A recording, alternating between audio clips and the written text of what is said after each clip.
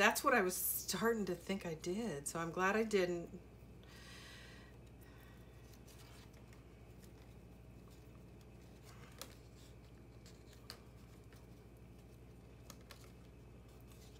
Yeah.